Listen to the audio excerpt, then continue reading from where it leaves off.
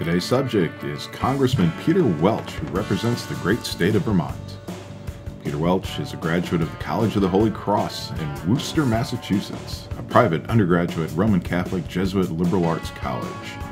As a side note, the Holy Cross Crusaders women's lacrosse team had a 6 12 record in 2018 with a total home attendance of 2,390.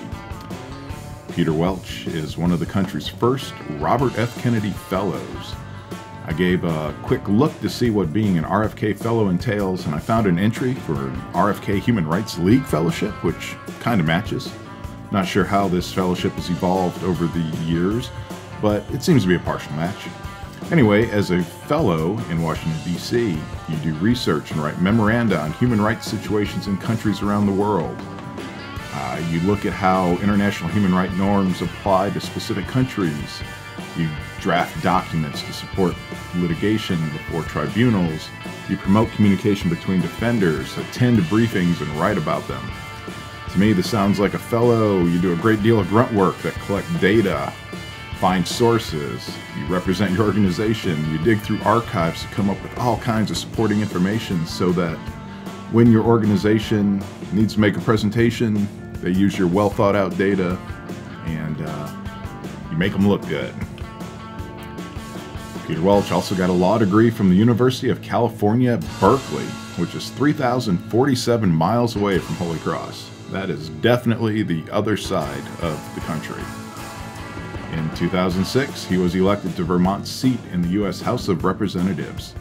His campaign gained nationwide attention for being the only contested congressional race in the country where both candidates refused to air negative ads. That's kind of cool. Vermonters have returned him to the House in subsequent elections by wide margins, so he's apparently well loved. Uh, Peter Welch is a chief deputy whip of the House Democratic Caucus and a member of the Democratic Steering and Policy Committee. A whip manages their party's legislative program on the House floor. The chief deputy whip is a primary assistant to the whip, who is the chief vote counter for their party. To me, it sounds like he works on getting voting coalitions together to get favorable legislation passed.